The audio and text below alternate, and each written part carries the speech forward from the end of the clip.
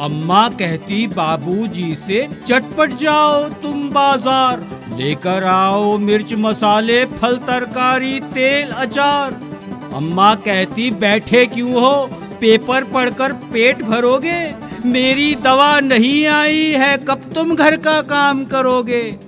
अम्मा कहती, अजी सुनो तो बच्चों की लानी है ड्रेस। दफ्तर जाने से पहले तुम कर देना कपड़ों पर प्रेस।